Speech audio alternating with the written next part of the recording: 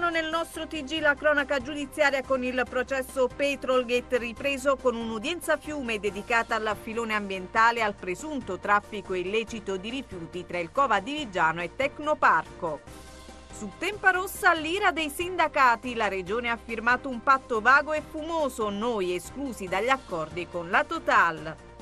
Parleremo poi delle nomine degli enti subregionali, tanti i nomi che circolano ma le trattative tra i vari partiti sono ancora in corso e l'ufficializzazione slitta alla settimana prossima.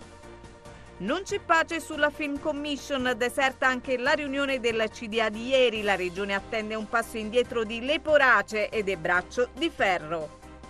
Dal 4 al 6 ottobre a Matera il congresso dell'Unione Europea dei Gourmet, la presentazione dell'iniziativa in una conferenza stampa a Palazzo di Città a Potenza.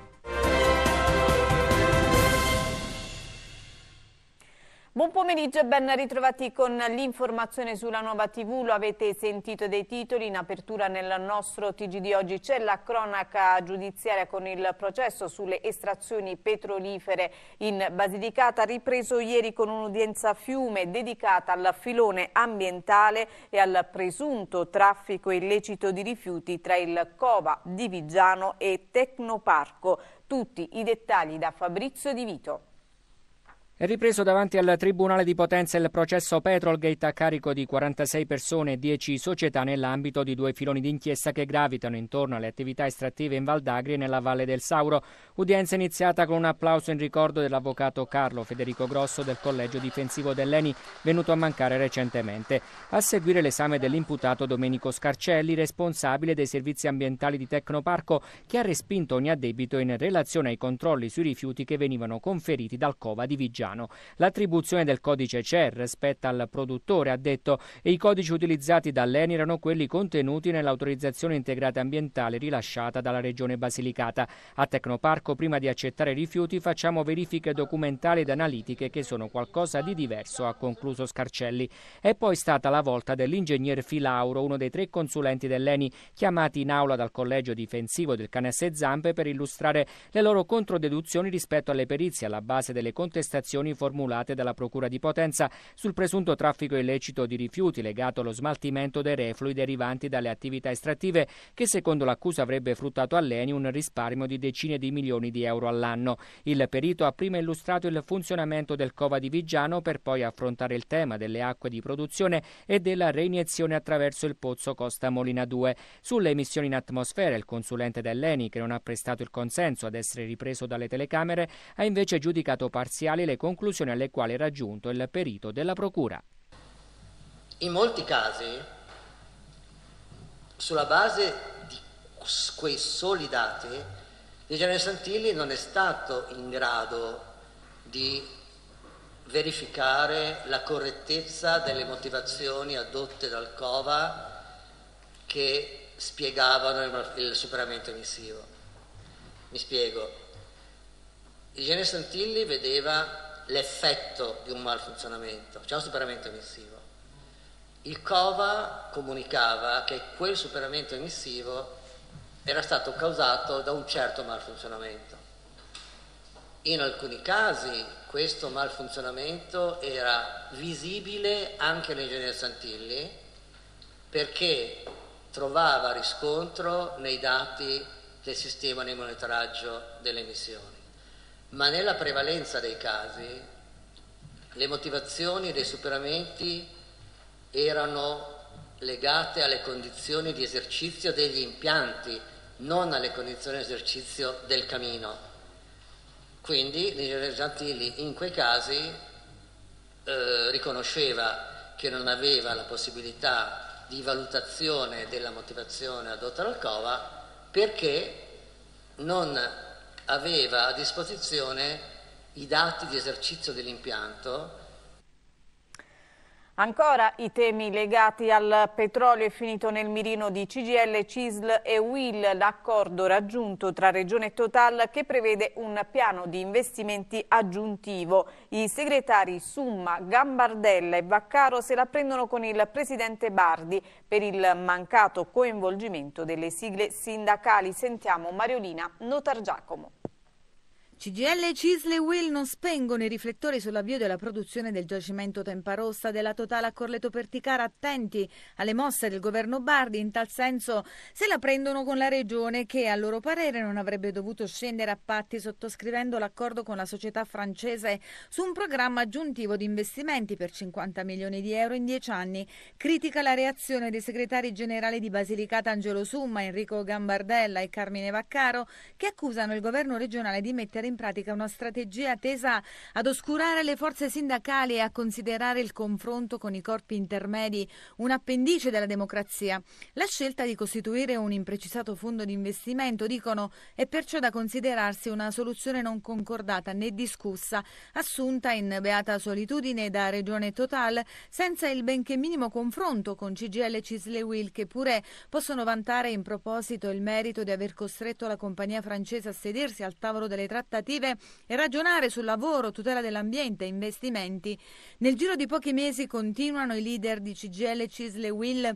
Siamo passati dalla discussione sulla Magna Carta ai conciliaboli tra Regione e Total con il rischio di creare un'inedita alleanza tra il custode dell'interesse pubblico e un legittimo portatore di interessi privati a parere dei sindacati con l'intesa Total potrà gestire a proprio piacimento la metà dei fondi, non recependo alcuna delle indicazioni prospettate, vale a dire investimenti per avviare la decarbonizzazione, un piano per la tutela ambientale e il monitoraggio della salute e della sicurezza nell'ambito di un accordo di sito. Per regolare con equità i trattamenti salariali e le condizioni di lavoro degli addetti diretti e indiretti di Tempa Rossa e disciplinare in modo stringente i cambi d'appalto e infine un impegno concreto per favorire l'occupazione delle maestranze locali. Dai segretari delle tre confederazioni sindacali arriva l'invito al governo regionale a non scegliere la strada dell'autosufficienza nelle trattative segrete della propaganda autoreferenziale, bensì a consolidare la prassi del confronto preventivo con il sindacato. Parliamo ora delle nomine degli enti subregionali, tanti i nomi che circolano ma le trattative tra i vari partiti sono ancora in corso e l'ufficializzazione slitta alla settimana prossima. Facciamo il punto con Michelangelo Russo. Il buon vecchio manuale Cencelli non tramonta mai che si tratti di centrosinistra o centrodestra. Sul tavolo dell'esecutivo Bardi arrivano le prime cinque di una valanga di nomine che dovranno chiudersi da qui a breve. Si tratta del direttore dell'Arsia, l'Agenzia Lucana di Sviluppo e Innovazione in Agricoltura, del direttore generale dell'APT, l'Agenzia di Promozione Territoriale, dei presidenti del Comitato Tecnico Regionale Artigiancassa e del Comitato di Coordinamento Istituzionale Politiche del Lavoro e infine dell'amministratore unico dell'EGRIB, l'ente di governo per la gestione delle risorse idriche della Basilicata. Le trattative all'interno dei partiti di maggioranza sono continuate fino alla tarda notte e non sono esclusi anche stravolgimenti scorgimenti dell'ultimo minuto. La certezza però è nella quota partitica di ogni singola nomina. Almeno per questa tornata la parte del Leone dovrebbe farla Forza Italia a cui spetterebbe indicare i vertici di Egrib e Comitato per le politiche del lavoro. Alla Lega invece andrebbe il direttore dell'Arsia, mentre per l'APT a indicare il nuovo direttore generale sarà direttamente il presidente Bardi. Si vocifera di un ritorno di Giampiero Perri o di Margherita Romaniello, salvo nuovi napoletani in arrivo. Ha idea invece che proprio sulla questione nomine nelle ultime settimane ha fatto sentire e come la propria voce andrebbe la presidenza di Artigiancassa, ma come dice dicevamo la partita è molto complessa e soprattutto è giocata più sui tavoli romani che su quelli lucani. È scaduto intanto l'avviso per le candidature che riguardano le 19 nomine che spettano al Consiglio regionale e anche in questo caso è il caos. Con certezze quasi nulle, per l'Allab il nome forte è quello dell'ex parlamentare Cosimo Latronico, primo dei non eletti nella lista del Materano di Fratelli d'Italia. Per le due Ater, invece, quella di Potenza viene indicata in quota Forza Italia e il nome che si fa è quello di Antonino Capuano. Per quella di Matera, invece, toccherebbe al leghista Rocco Fuina. Quanto alle due asi, quella di Potenza sarebbe appannaggio di Idea e a guidarla potrebbe essere l'attuale coordinatore Francesco Pagano. Quella di Matera, infine, vedrebbe in pole l'ex senatore Tito Di Maggio, ma il puzzle è, come dicevamo, tutt'altro che chiuso e troppi pezzi sono ancora sparsi sul tavolo. E restiamo in tema perché la partita politica degli enti eh, subregionali passa dalle mani dei segretari di maggioranza, Liuni, Moles e Caiata. Intanto il leghista Coviello ai nostri microfoni si dice estraneo alle scelte e tra le forze di governo non si escludono fibrillazioni. Sentiamo Alessandro Panuccio. A decidere un tavolo ristretto composto da due, massimo tre sedie, agli altri il ruolo dei peones. È il tema politico quello che più di tutti sta animando il dibattito sulle nomine alla guida degli enti subregionali, una prerogativa dell'esecutivo Bardi chiamato a nominare oggi cinque di queste figure dopo una condivisione con la maggioranza consiliare. Ma a sentire autorevoli voci di maggioranza del parlamentino regionale non ci sarebbe stata nessuna condivisione tra chi ha preso le decisioni e i consiglieri, né sulle strategie per la selezione delle professionalità. Le decisioni infatti sarebbero state prese a Roma alla buvette del transatlantico dal coordinatore di Forza Italia Basilicata, il senatore Moles, e dal segretario commissario della Lega Lucana, l'onorevole Liuni, con la partecipazione del segretario di Fratelli d'Italia Basilicata, l'onorevole Caiata. Infine il passaggio con il presidente Vito Bardi. Trattative top secret, insomma, tanto che a chiedere informazioni a consiglieri e uomini di partito la risposta è sempre la stessa. Non ne so assolutamente niente. È quanto anche dichiarato a margine di un'intervista intervista alla Nuova TV il capogruppo della Lega in Consiglio regionale, Tommaso Coviello. Sulla questione non me ne sono occupato personalmente perché se ne è occupata la segreteria regionale, nella quale ripongo massima fiducia e eh, posso soltanto dire che noi per dare un segnale di discontinuità rispetto al passato dobbiamo in un certo qual modo procedere anche in quelle che sono dove c'è una certa discrezionalità, mh, laddove è possibile a curriculum diciamo, identici, procedere nel senso di eh, dare questi incarichi a persone di specchiata moralità, eh, competenti, capaci e, che possano naturalmente anche, laddove possibile, anche di fiducia, perché poi l'indirizzo politico-amministrativo che viene dalle, dal Consiglio, viene dalla Giunta, possa essere seguito anche negli enti eh, partecipati. Ma se Coviello resta fiducioso nel ruolo della segreteria, altri esponenti di maggioranza difficilmente riusciranno a deglutire quell'amaro in bocca per una vicenda che non è escluso possa provocare fibrillazioni e scossoni politici tra le forze di governo. Non c'è pace sulla Film Commission, deserta anche la riunione del CDA di ieri, la Regione attende un passo indietro di Leporace e del Braccio di Ferro, sentiamo Celestino Benedetto. A tutti è parsa una chiara manifestazione della volontà politica di sterilizzare l'attività della Fondazione e di invocare le dimissioni sia da parte del direttore pari delle Porace sia dei due consiglieri d'amministrazione ancora in carica, Salvatore Verde e Antonella Pellettieri non c'è pace sulla Film Commission lucana. Tra prima e seconda convocazione è l'ottava volta consecutiva che la seduta del Consiglio generale dei soci va deserta. Convocata presso la sala Bradano al quarto piano della giunta regionale, si è presentato soltanto il rappresentante della provincia di Matera. Assenti la regione, socio al 60%, provincia e comune di Potenza e comune di Matera. All'ordine del giorno l'approvazione del bilancio 2018 e la nomina del presidente dopo la scomparsa di Luigi Di Gianni. In assenza della convalida del documento politico-finanziario, la Fondazione non è nella condizione di poter operare. Se dimissioni non ci saranno, la strada che si proverà a seguire tra Pela da Viale Verrastro sarà quella del commissariamento straordinario per restituire operatività alla Fondazione che proprio nei giorni scorsi si è vista erogare dalla stessa Regione il finanziamento annuale per il piano delle attività 2019 di 1.040.000 euro, ma con una contraddizione il piano poteva essere anche bocciato. Dal canto suo, forte del contratto stipulato e la cui scadenza non è certo dietro l'angolo, Leporace non è affatto intenzionato a dimettersi, pronto anche a far valere le sue ragioni in altre sedi, a meno di un accordo bonario tra le parti. E siamo alla cronaca. A Senise i carabinieri hanno arrestato un 56enne della zona, deteneva una Santa Barbara di armi non denunciate all'autorità di pubblica sicurezza. I militari hanno sequestrato 140 armi, in gran parte da sparo, tra cui 47 fucili, 82 pistole, 12 sciabole, 22 baionette e persino un cannone risalente al dopoguerra. L'uomo, dopo aver ereditato parte di queste armi dal padre, che ne aveva regolarmente regolarmente denunciato il possesso, ha omesso di darne comunicazione alle autorità di pubblica sicurezza. Sono ora in corso indagini per stabilire l'esatta provenienza delle altre armi prive di matricola, nonché la destinazione di alcune di queste risultate denunciate a nome del padre, ora defunto, e non rinvenute in possesso del figlio. Ed ora ci fermiamo per la pubblicità. Mettiamo le cose in chiaro. La nuova TV è visibile anche a Matera. Informazione. Inchieste.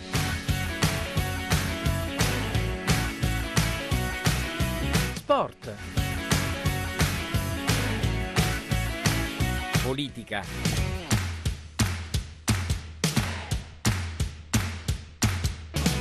Storie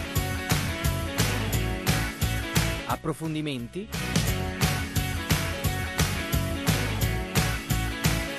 e tutti i colori della Basilicata.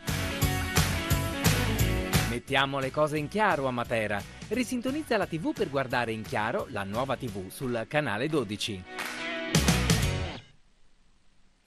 E dopo la pubblicità riprendiamo il nostro TG, parliamo dell'emergenza cinghiali. Stamani a Potenza il tavolo convocato dal prefetto Annunziato Vardè per discutere sul tema. Cresce infatti il numero degli ungulati in regione e crescono i danni che eh, questi animali arrecano alle culture. Attorno al tavolo i presidenti delle due eh, province, il presidente dell'Anci Salvatore adduce numerosi sindaci e l'assessore regionale Fanelli, serrato il confronto fra le parti di cui vi riferiremo nel dettaglio nella prossima edizione del TG. Dal 4 al 6 ottobre a Matera il congresso dell'Unione Europea dei Gourmet, la presentazione dell'iniziativa in una conferenza stampa a Palazzo di Città a Potenza, i dettagli nel servizio di Rocco Romanelli. Dal 4 al 6 ottobre Matera diventa capitale europea del gusto. Per il 2019 l'Unione Europea dei Gourmet ha scelto la città dei Sassi come sede del congresso annuale promosso dall'associazione nata 25 anni fa per custodire le tradizioni enogastronomiche dei vari territori, con l'intento di far conoscere le vandole di rango, le antiche e tipiche ricette regionali, promuovendo e diffondendo l'arte culinaria mediterranea, i prodotti gastronomici ed i prodotti enologici. Visite guidate, un convegno sul tartufo bianco bianco e la consegna di una borsa di studio in onore di Adelaide Masella saranno al centro della tre giorni materana. Cominciamo prima con una visita ad Altamura, cattedrale romanica, e la sera una cena a base di piatti eh, murgiani. E il giorno appresso visita nei Sassi, sabato mattina, pomeriggio la nostra manifestazione che ha come punto più importante la borsa di studio da dare a uno studente del quinto anno dell'Istituto Alberghiero della città dove facciamo il gran convegno in onore di Adelaide Masella, che era una gourmet ed è morta prematuramente quattro anni fa.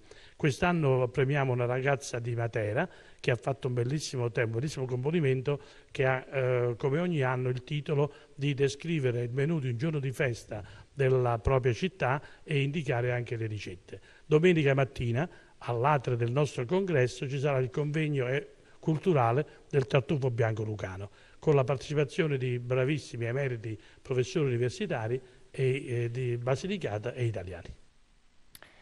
E siamo allo sport, parliamo di basket. Si è presentata agli appassionati della pallacanestro la Basilicata Sport Potenza in vista dell'avvio di campionato di Serie C Silver in programma domenica il servizio di Luigi Santo Pietro.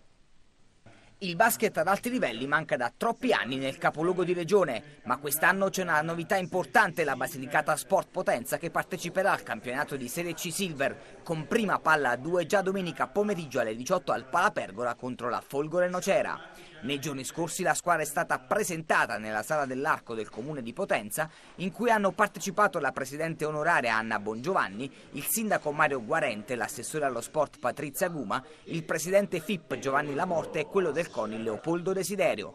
A fare gli onori di casa il presidente Antonio Picarella, che illustra il progetto Basilicata Sport, reduce da due promozioni consecutive affidato a coach Vincenzo Bocchicchio. Le ambizioni per quest'anno sono importanti, sicuramente quello di non fare una brutta figura, eh, di offrire alla città di Potenza un basket dignitoso.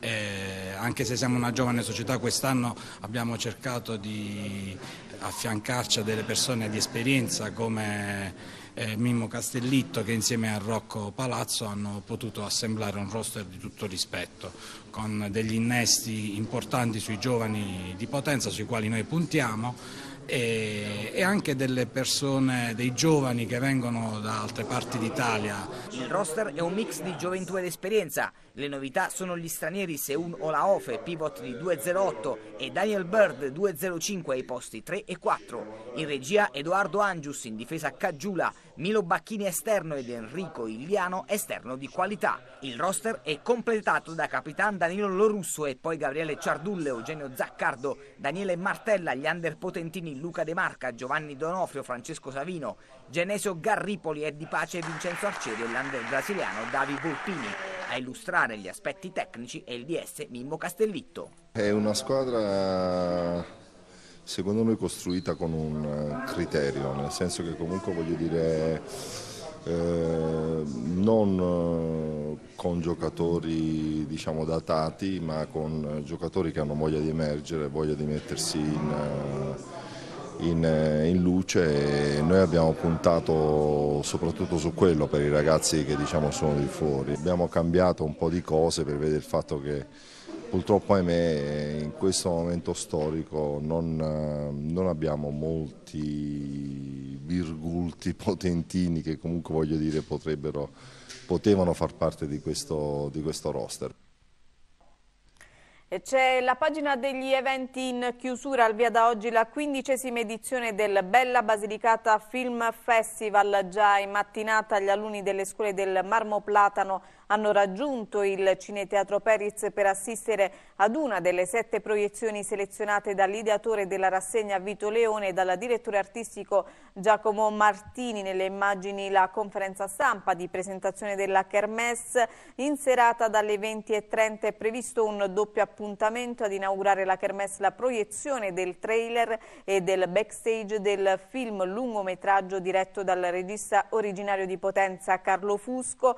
Parteciperanno alla serata l'attore lucano protagonista Gianni Alvino, il produttore e amministratore unico di Arifa Film Paolo Mariano Leone e l'amministratore unico di Sviluppo Basilicata nord-occidentale Antonio Alvino a seguire la proiezione di Lucania Terra, Sangue e Magia di Gigi Roccati approdato sul grande schermo nello scorso mese di giugno. Incontreranno il pubblico del Periz il protagonista Gio Capalbo e Renata Di Leone della produzione del film. L'ingresso al Periz di Bella è gratuito.